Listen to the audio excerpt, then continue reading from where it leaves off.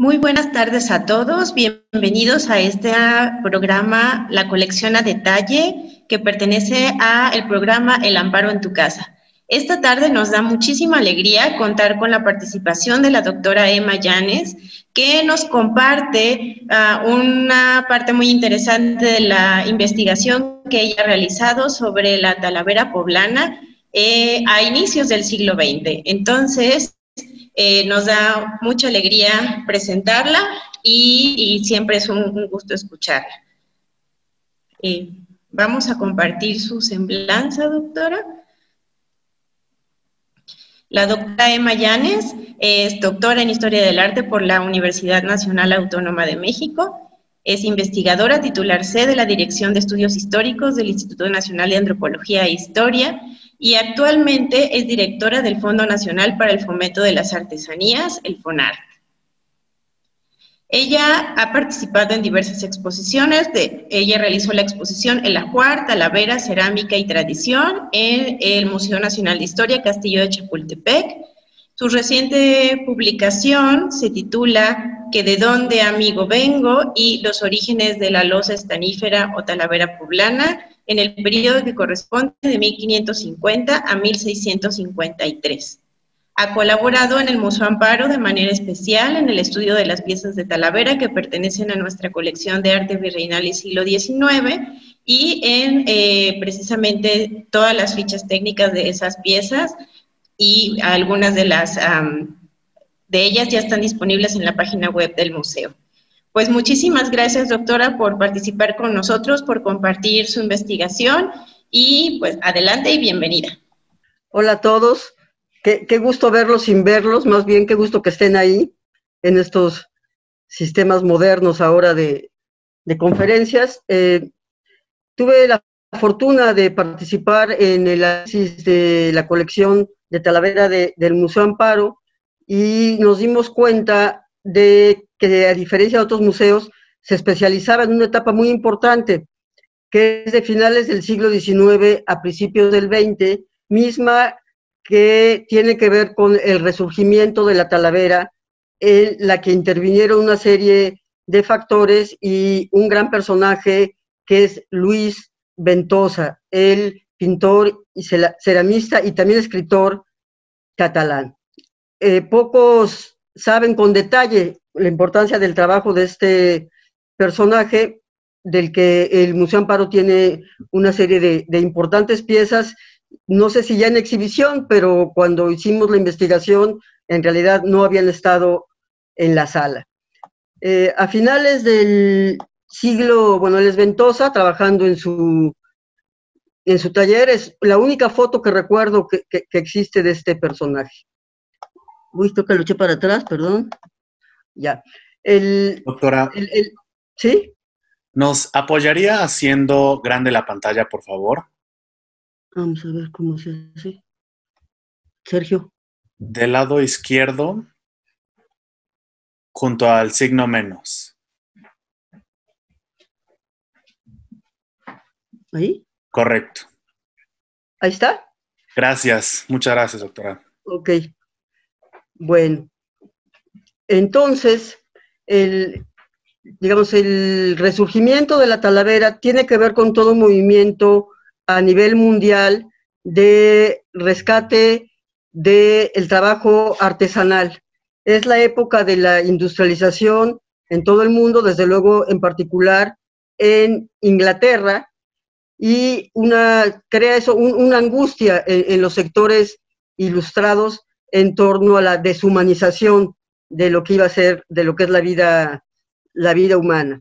Surgen importantes filósofos, perdón, como John Ruskin y Pugin, que empiezan a, idealizar lo que era la época gótica como un periodo de gran humanidad y de estándares morales aceptables. Estos filósofos buscan aterrizar sus proyectos. Sin embargo, quien, lo logra hacer es William Morris. También es filósofo, pero además es tallerista, es ceramista y hace toda una serie de, digamos, de trabajos concretos en torno a el apoyo al sector artesanal. No nos metemos en detalle en este, en este movimiento porque es todo, todo un tema, pero es una base importante para, para entender por qué este empeño del catalán Ventosa en el rescate de la Talavera de Puebla.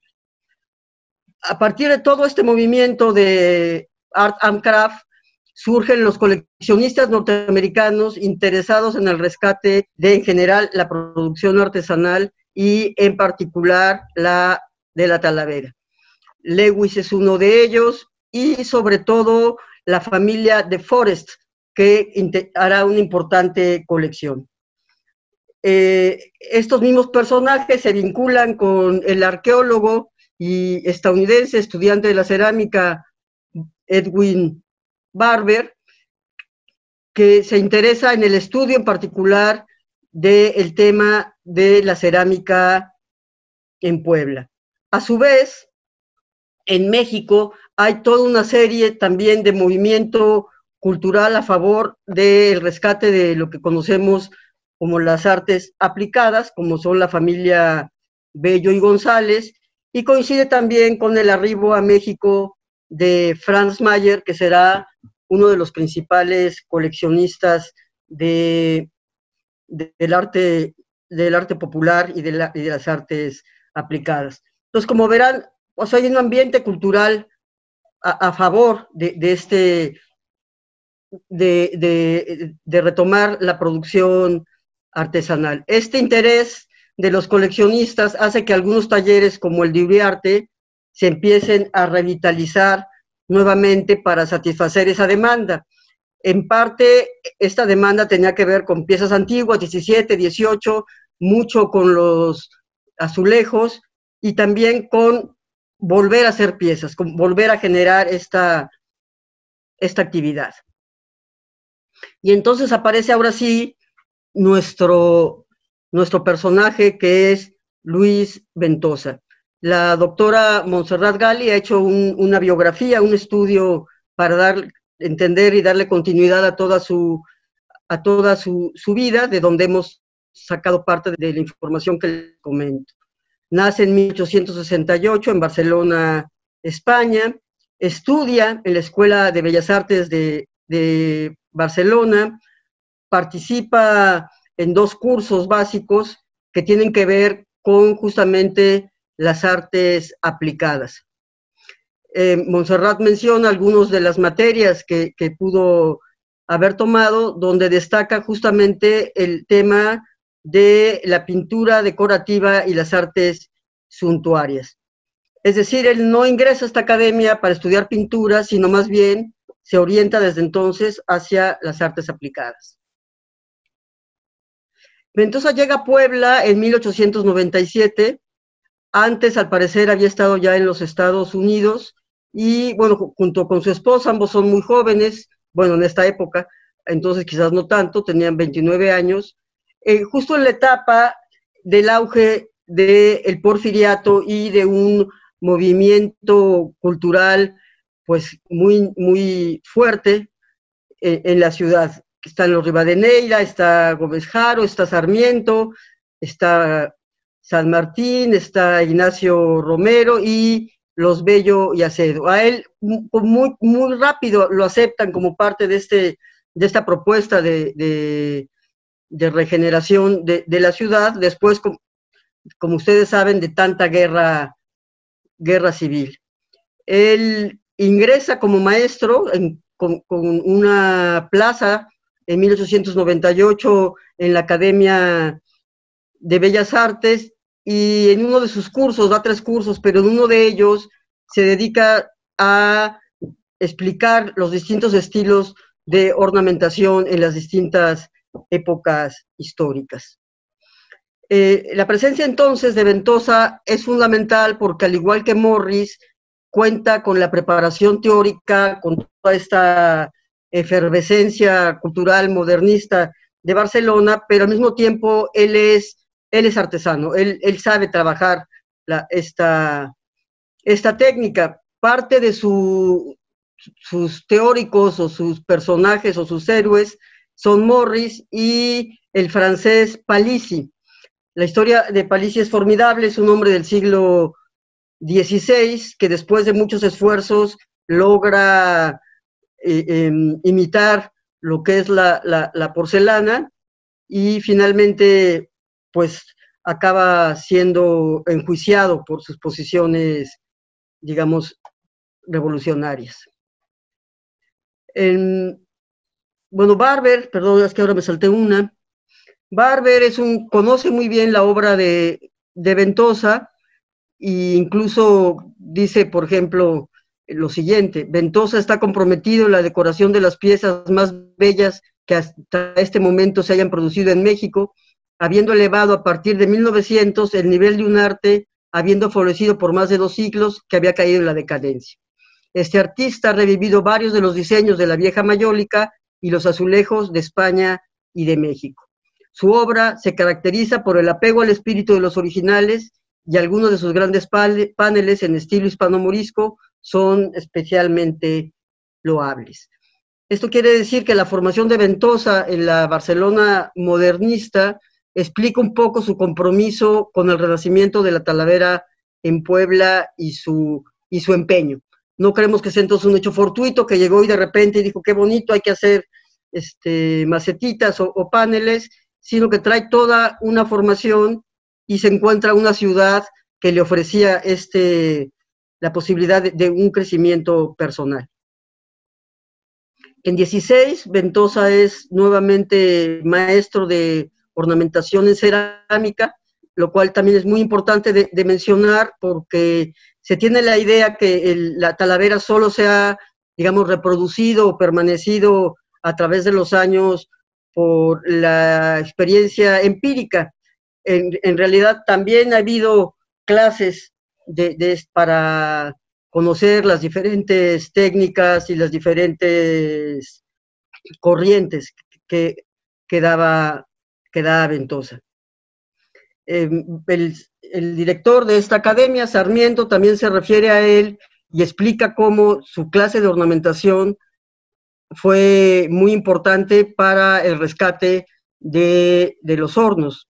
Comenta, por ejemplo, Sarmiento, en el siglo XVII puede considerarse como el siglo de oro de la cerámica, funcionaban en la ciudad no menos de 30 hornos, y en la época en que llega Ventosa, 95-96, solo funcionaban siete.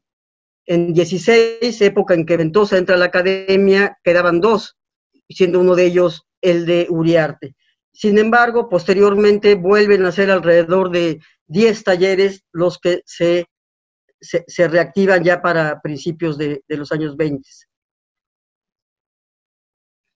Ventosa es un amante de, de, las artes aplicadas y él mismo escribe lo siguiente sobre la ciudad de Puebla. Puebla, la bella ciudad de Puebla, la de los azulejos, la de los esmaltes, tiene un arte muy suyo, su losa.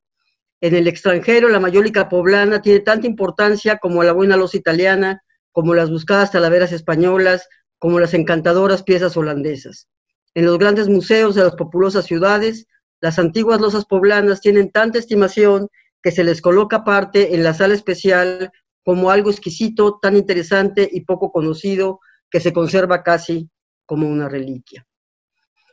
El taller donde más tiempo trabajó Uriarte, perdón, Ventosa, es el taller Uriarte, que bueno, muchos ya lo conocemos, tiene antecedentes en el siglo XIX y le abrió las puertas Dimas Uriarte inicialmente a, Ventosa para, para, trabajar en su, en su taller fue uno de los pocos talleres que sobrevivió a la, Revolución Mexicana y que pues no se rindió en el, rescate de esta técnica. De igual manera, Ventosa trabajó el taller de la calle de Sayas, que todavía está en, la actual 10 Poniente, y bueno, siempre hemos querido que, se rescate el, el, inmueble. Perteneció a la familia de Pastor Romero, pero uno de los principales loceros con los que trabajó en ese mismo espacio Ventosa era Espinosa, este muchacho, bueno, este alfarero. Eh, posteriormente, en los años 20, se le llamó la Unión al taller y tiene un, letrero en el que se indica que se especializaba en copias de piezas antiguas, por lo que creemos que, es muy probable que la escuela de Ventosa sobre la copia de estas piezas haya, tenga origen en ese taller. Si pueden ver del lado izquierdo, la foto fue tomada creo que, no sé, hace uno o dos años, el estado lamentable en el que, en el que se encuentra y uno de los paneles cerámicos de, de azulejos indicando el, a qué se dedica esta, esta locería. Creemos que, que, el trabajo de Ventosa inicialmente fue de mucha experimentación para, para lograr sobre todo el rescate de, del azul cobalto que ha sido la, obsesión de los ceramistas para la imitación de la, de la porcelana china.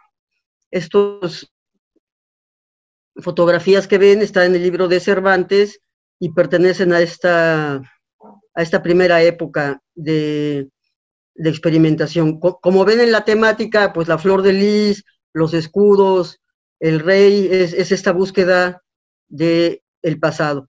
Interesante también de esta primera época, cómo busca también no solo el pasado europeo o idílico de, gótico, sino también del mundo, del mundo prehispánico. En general en la Talavera es muy raro ver piezas de ornamentación prehispánica incluidas en los platos. Fue algo que no pegó, digamos, en, el, en el público de esa época, pero él insiste en la temática, tiene también un plato con unas escenas de la cultura maya. Eh, posteriormente, en 1905, esto para nosotros pues fue toda una, una sorpresa.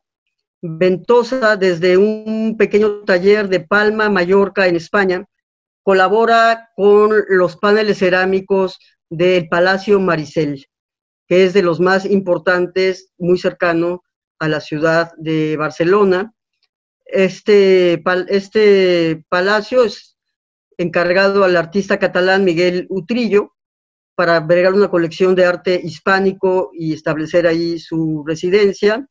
Fue construido entre 1910 y 1918 y para nosotros es muy, importante ver cómo en, en, su propuesta para este, para este lugar, Ventosa rescata justamente el tipo de producción de los azulejos de influencia oriental del siglo XVII en la ciudad de Puebla, y ahorita cuando ustedes los vean dirán, pues sí, lo cual quiere decir que nuestro personaje no solo trajo la cultura europea retomando diseños y, toda una propuesta ornamental, sino que de la misma manera llevó a otras partes del mundo los diseños de tradición poblana colonial. Este, por ejemplo, aquí se ve el, personaje chinesco y pues los que conocemos Puebla, me imagino que todos ustedes verán la similitud con, gran parte de nuestros, de nuestros azulejos. Este es un panel, ahorita lo van a ver, lo van a ver completo, donde cada uno de estas representaciones se pueden encontrar también en las iglesias de Puebla y desde luego en el Museo del Carmen, el hoy Museo del Carmen en San Ángel.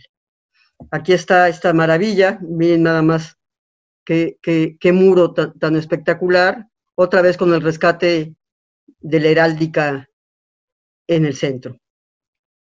Es mal tomada la foto, pero un detalle de estos de estos mosaiquitos. También están, creo que recuerdo, en la fuente muy cerca del Museo Amparo, en esta casa que está casi, casi en contraesquina.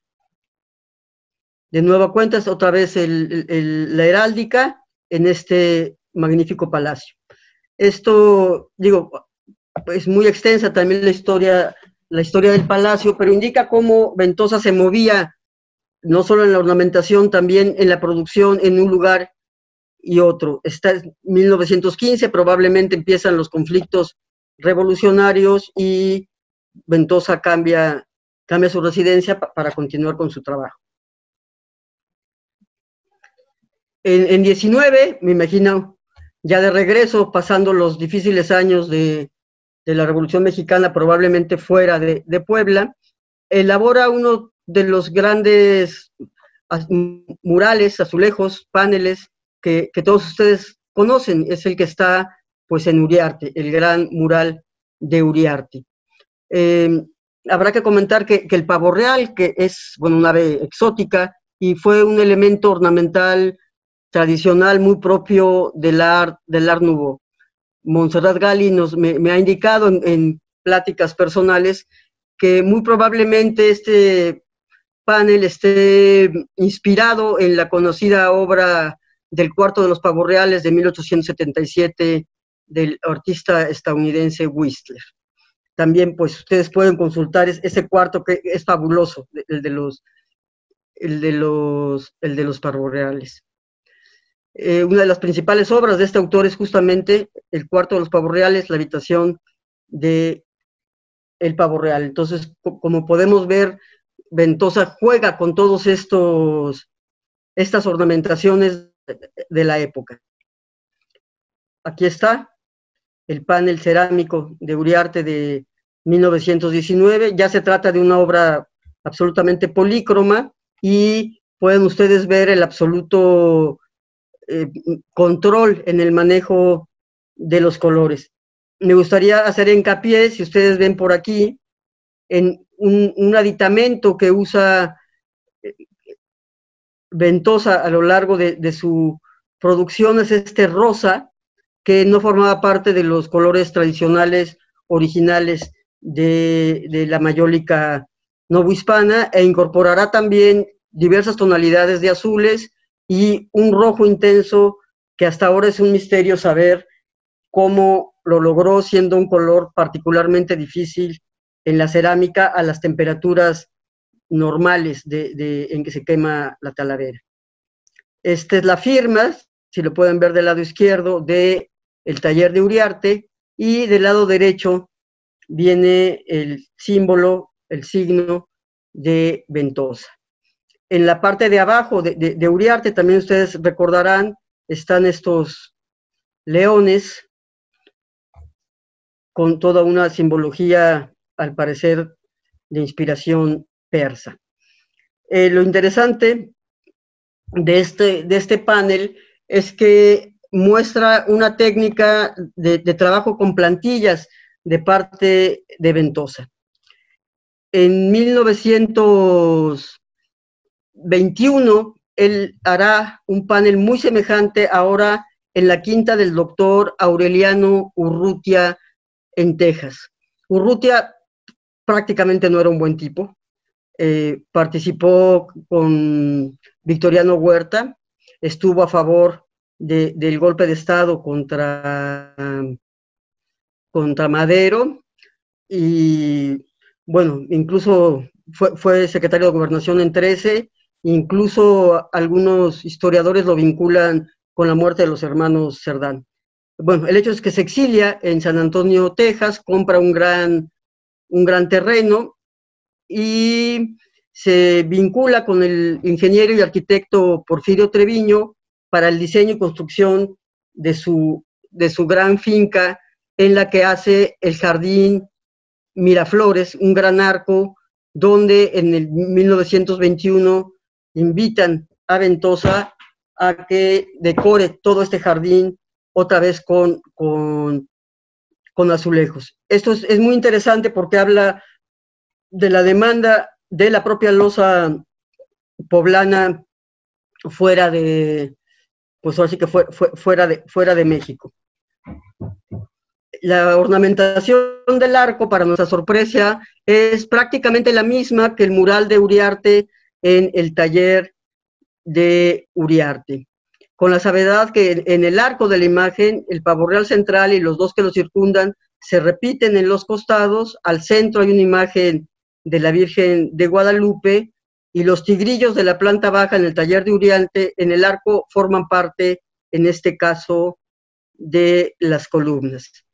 En, en ese sentido, reutilizó sus propios sus propios diseños. una propuesta ornamental que una crónica la describe más o menos de la siguiente manera. con el sentimiento propio del indio azteca y decorada con azulejo, representan los dos tipos que dominan los siglos XVII y XVIII en los tableros de las columnas, hay un maravilloso dibujo persa en donde están combinados en líneas y colores seis hermosos pavos y dos tigres modelados de legítimo azulejo hispano-árabe.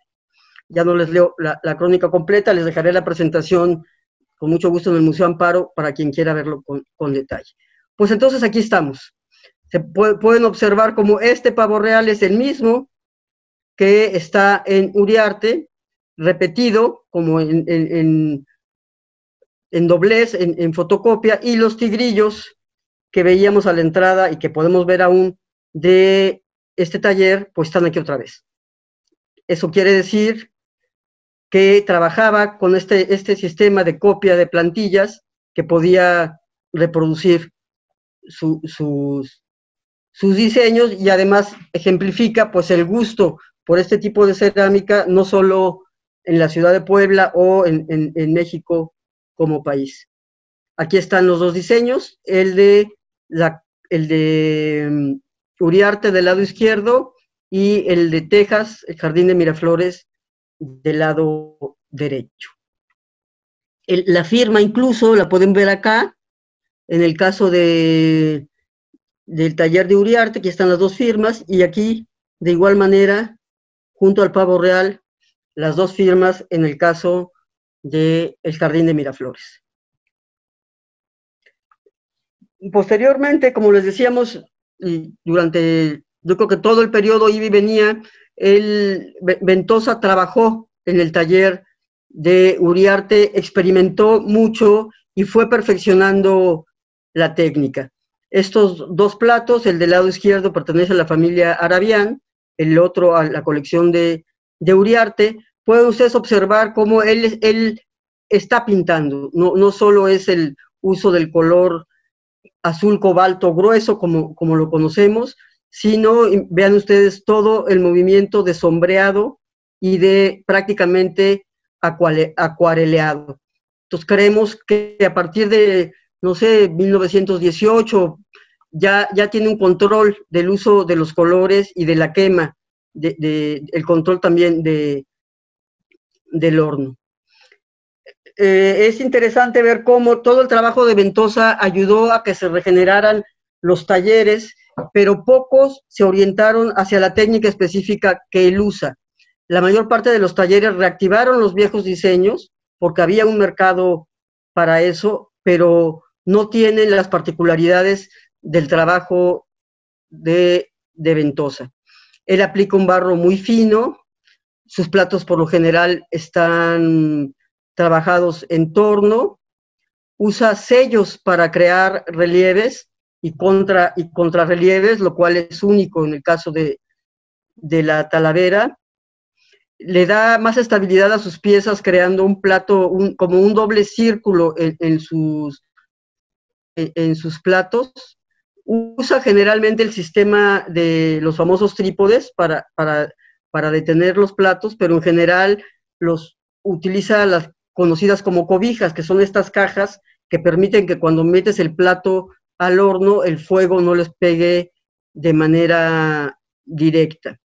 es, sus piezas son un poco más blancas que, las de la, la talavera de la época, por lo que creemos que usaba un, estaño y un plomo de mayor calidad. A, diferencia de muchas piezas que hasta la fecha conocemos, en general no están craquelados sus, sus platos, su, su, su, obra. Eh, normalmente el craquelado se produce por sacar demasiado rápido la pieza del horno o porque no esté cubierta con las con las cobijas. Nos encanta el craquelado, que en realidad supuestamente es un defecto, a nosotros ya lo adoptamos como una, como una virtud, pero no aparece como una característica de, las obras de este personaje. Los colores, a su vez, son, es la manera en que los aplica, son, son muy interesantes, son muy trabajados y generalmente eh, un solo color le, le aplica varios, varios tonos. Él usa el azul oscuro como relieve, pero también lo puede acuarelear, lo que es muy, muy interesante y complicado para los ceramistas que lo conocen en lo que se refiere al cobalto, dada la densidad de este, de este color.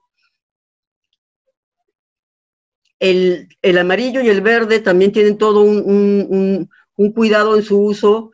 Los otros, bueno, los que son ceramistas saben la complicación de utilizar el, verde porque se puede volver gris si, si, no se usa de manera adecuada, pero él no, él tiene un control real del uso de los, de los colores y de su densidad, lo que quiere decir pues que experimentó mucho, que, que, echó mucho a perder, por decirlo así, para lograr esas calidades.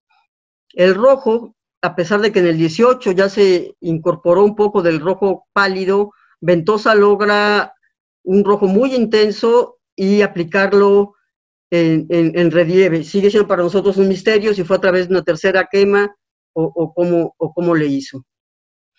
Y otra de las características es que para, para, esta época ya se había perdido la costumbre del el famoso sello.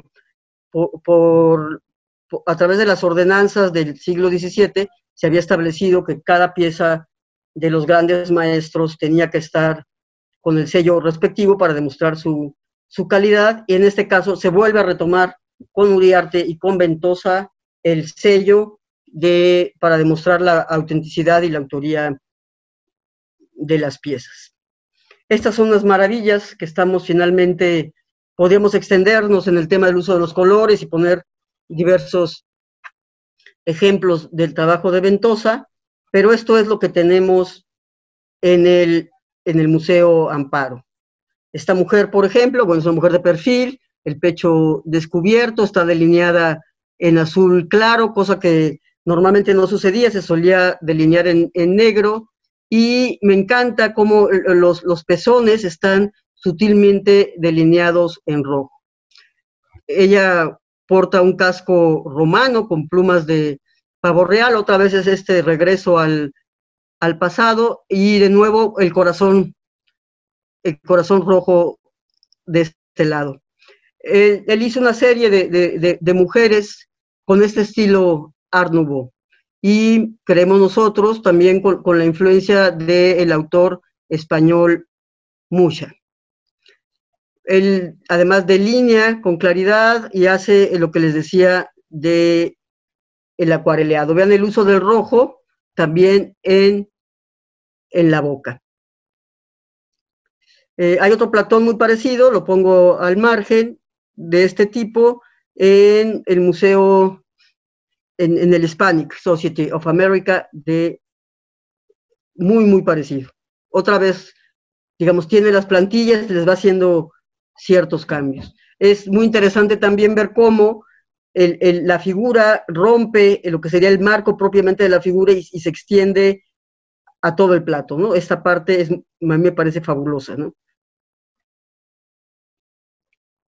Aquí nuevamente están los, los dos sellos, el de Uriarte y el de Ventosa.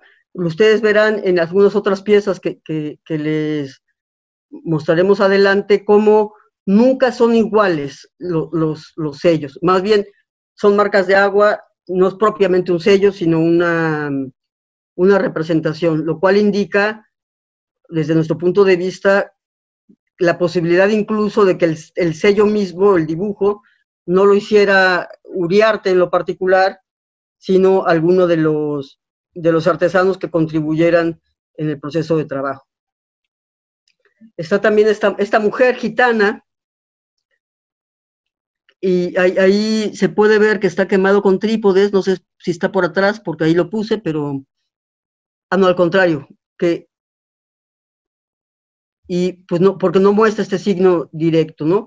también comentarles que el barro de, los, de, los platos de Ventosa es un poco más fino, café claro, que este, que este barro tan naranja que, nosotros, que nosotros conocemos.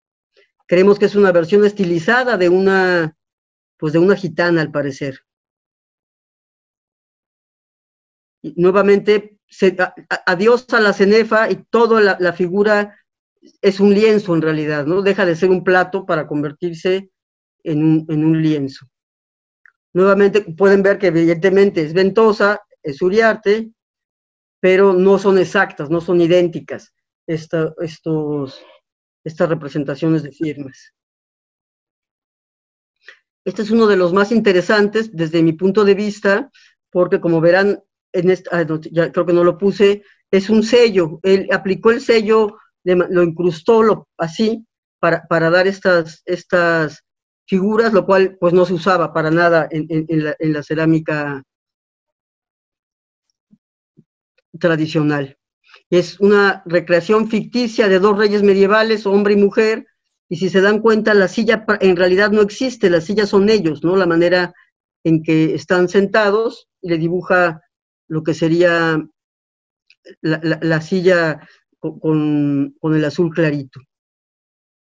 Nuevamente es este buscar las imágenes idílicas de inspiración, inspiración medieval y el asunto de la incrustación del sello por la parte por la parte trasera. Y, el, color, vean la sutileza de los verdes y a su vez el uso de, del naranja. Nuevamente se puede distinguir la, diversidad en los sellos y este puntito probablemente signifique que en este caso sí se quemó con, con, trípodes por la parte trasera. Em, Ventosa tenía una admiración particular por Cristóbal Colón. Tiene varios paneles, varios este, referencias a, este a este personaje y acá pues es otra vez el uso del molde, em, Cristóbal Colón, la boina, las capas características, el pincel en azul claro. Ven acá qué interesante es cómo usa el azul se siente acá las rayitas, pues, del, propio pincel para conformar e, el, pelo y la delicadeza con la que logra reproducir el, la vestimenta. De nuevo, el, el, uso del verde, pues perfectamente controlado. La vestimenta, vean el detalle y lo que nos hace imaginar la delicadeza de los pinceles que seguramente utilizó para su manufactura y todo este trabajo acuareleado prácticamente. O sea, él está utilizando la cerámica como un lienzo. Creo que no le interesa tanto el plato en sí mismo, sino su, su ornamentación, su uso como pintura. Nuevamente, aquí sí los sellos, los sellos diversos. Entonces, a grandes rasgos, esa es la importancia de este, de este personaje. Queda desde luego, pues, por reconstruir todo lo que logró producir y trabajar en estos, en estos talleres, pero es muy importante a través de, de la colección del amparo un estudio minucioso y detallado, tanto de la manera en que trabajó, no ha sido fácil imitarlo, alrededor de, no sé si hubo como un boom en torno a Ventosa y se hicieron una serie de, copias, pero es difícil, es difícil llegar a la perfección que, que, él consiguió en base a todo este trabajo de experimentación.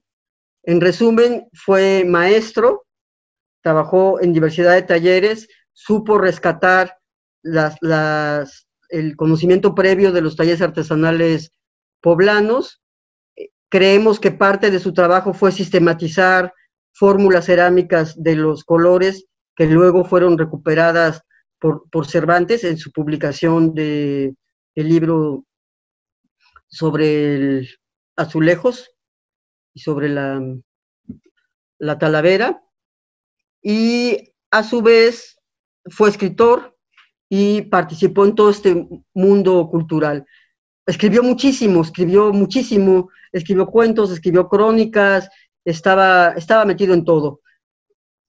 No hay hasta ahora, salvo un pequeño librito que hizo él sobre la cerámica, donde habla de su relación con, con, el horno, no hay una compilación amplia de su producción periodística, ni una sola exposición digamos, magna exposición que sería el todo formidable que existiera en torno a su obra cerámica. Entonces, bueno, como siempre, felicidades al, Museo Arparo por, por, tener en buena custodia estos, estos platos y por su interés en conocer a grandes rasgos los detalles de la vida de Ventosa. Gracias. Por último, compartirles para quienes se interesen en mayor detalle de, de, este personaje o de, o de esta época histórica, una pues, bibliografía mínima general de estudio de este, de este periodo. Acá pueden consultar toda la obra de Barber, donde se hace referencia a, a Ventosa, y las colecciones a los que ya les, que ya les hayamos comentado, donde inicialmente aparecen obras, obras suyas. Es fundamental también el libro de Cervantes sobre los loceros poblanos. Los dos tradicionales son la nómina de loceros durante el periodo virreinal y Losa Blanca y Azulejos de Puebla, donde aparecen fotografías de, este, de la obra de, de Ventosa. Está también la ponencia que realizó la doctora Montserrat Gali en, Barcelona, Enrique Aventosa, eh, creo que no, puse el año, fue hace no me, se, me borra el año. Está la obra de Gestoso y Pérez. Gestoso y Pérez es un gran conocedor de la Talavera sevillana que y, y, también ceramista, que coincidió en una o dos exposiciones con, con, Ventosa dentro de este mundo de, las artes aplicadas.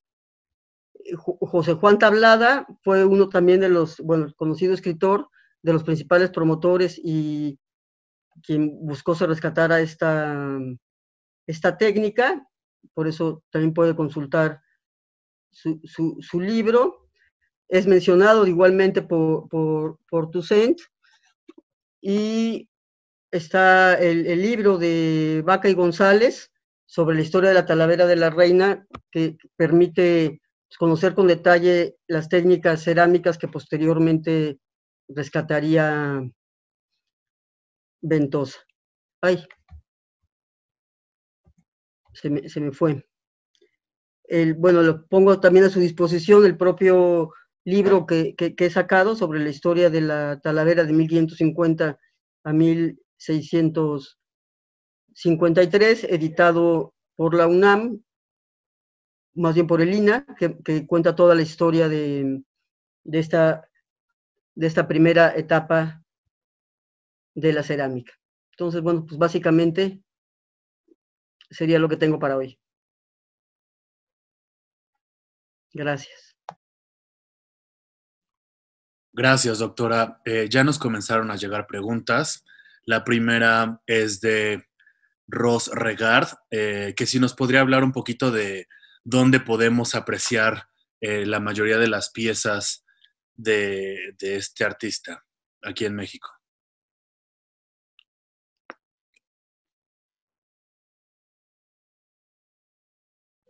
Yo le, preguntaría al propio Museo Amparo si las piezas que estudiamos ya, estarán, ya se podrán consultar y, ver por el público. Aún no abrimos, pero sí las tenemos en exhibición en la sala de arte virreinal.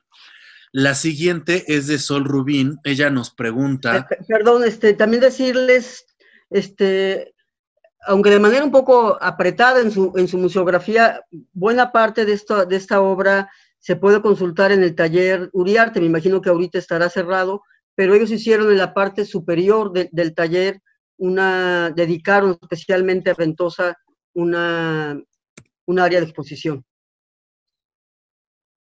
Gracias, doctora. Eh, Sol Rubín nos pregunta si Ventosa trabajó para otros talleres en Puebla.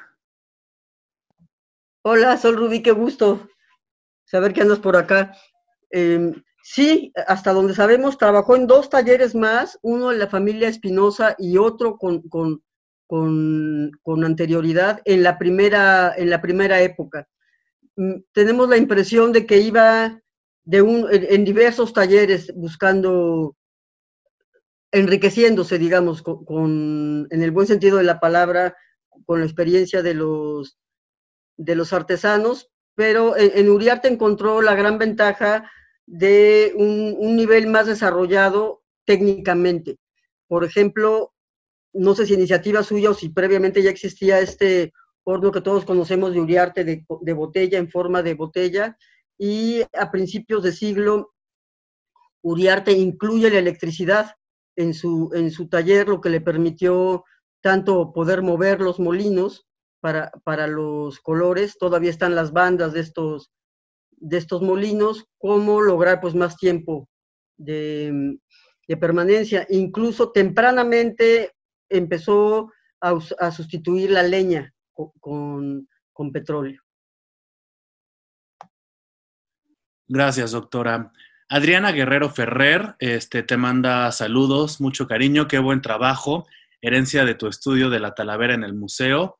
Este, un fuerte abrazo. Adán Chicotencatl pregunta que si Ventosa tuvo como influencia de Antonio de Jovellanos en relación a la revaloración del trabajo artesanal. Ay, sí, no lo sé, pero lo voy a anotar, Antonio la verdad, no, lo sé, pero es toda esa época. Van juntos, digamos, los, ese, ese interés de, valorar lo, lo, artesanal contra este deshumanización de, de la, del periodo de industrialización. Gracias, doctora. Alfonso Olvera eh, nos pide si puede comentarnos algo sobre la escultura en Talavera. Uy, es un tema padrísimo. Eh, creo, ya no me acuerdo si también ya dimos una plática sobre eso en, este, en este mismo bellísimo Museo Amparo. Sí, la, la que llamaban escultura de bulto fue bastante reconocida en el siglo 17, 18 del mundo colonial, tampoco se ha hecho una exposición conjunta de estas piezas.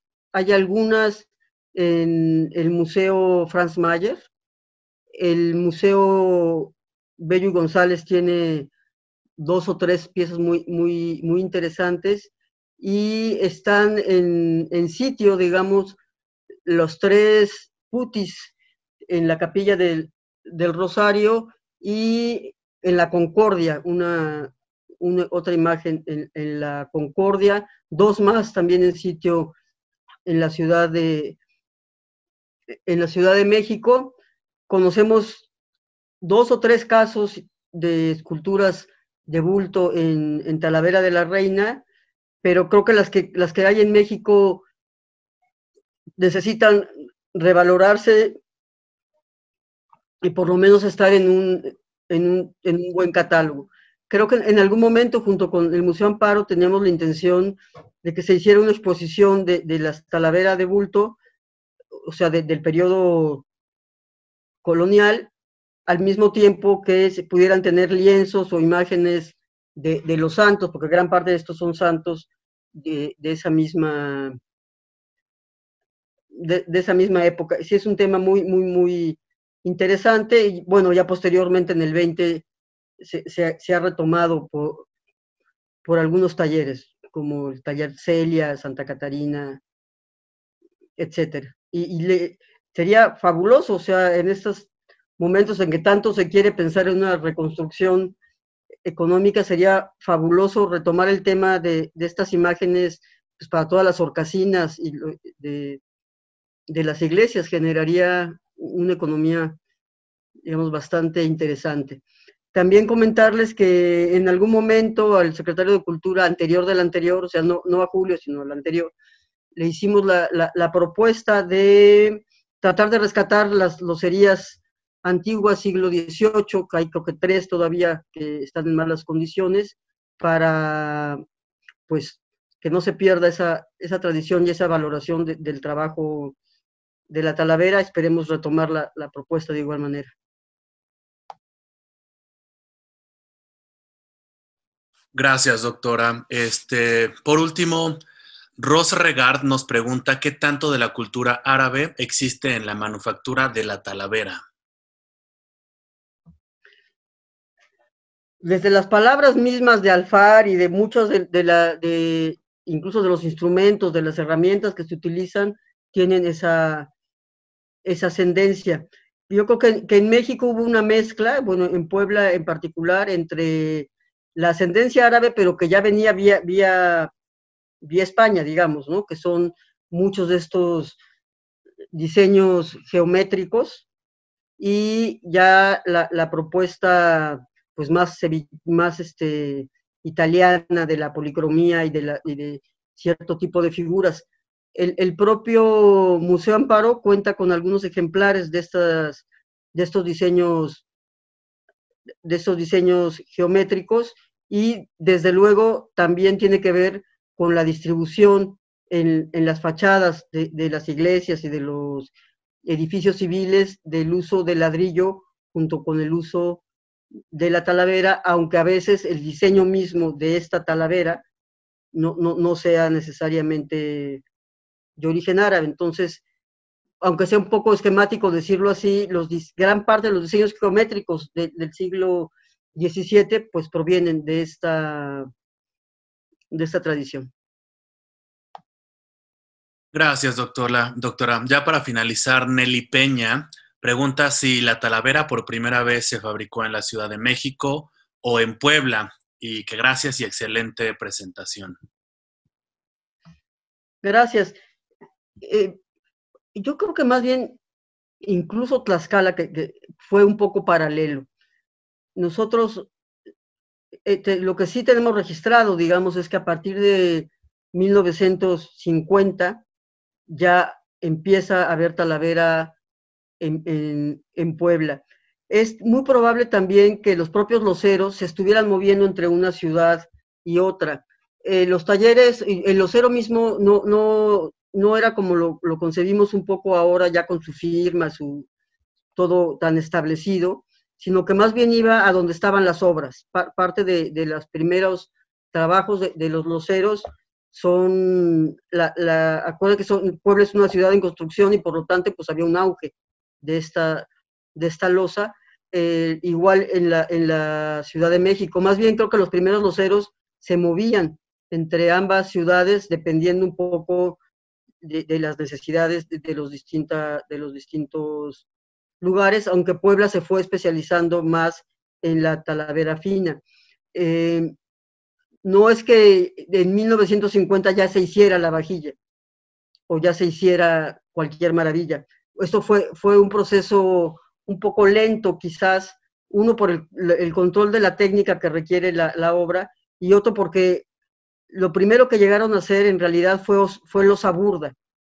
Nosotros estamos acostumbrados como a relacionar la, cerámica que consideramos popular con, con, una producción mestiza o indígena, pero no, originalmente la hacían estos loceros y en menor medida hacían lo que es la talavera que, que hoy conocemos como, como, la talavera tradicional. Les costó trabajo empezar a controlar la técnica, los hornos, los molinos, todo lo que esto implica. Iniciaron haciendo unos pequeños eh, escudillas que le llaman, que son como platitos pozoleros, y lo cual tiene que ver también pues, por la manera en que, en que se comía inicialmente eh, empezaron por adentro, por decirlo así, por los patios y demás, y ya en el 18 pues es todo este auge del uso del, del uso de, del azulejo.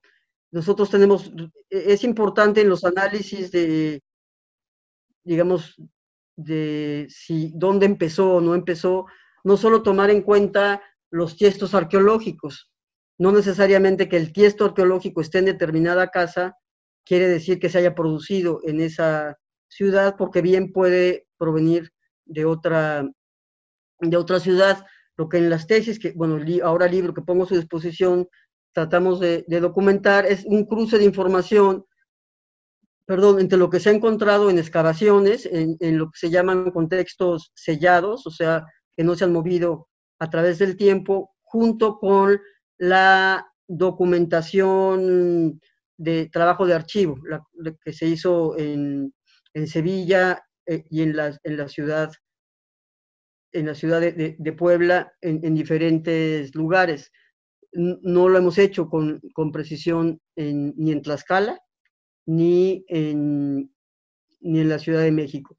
Pero nuestra hipótesis más bien es esa, que se movían entre las diferentes ciudades dependiendo de, de las obras que requerían de estos trabajos.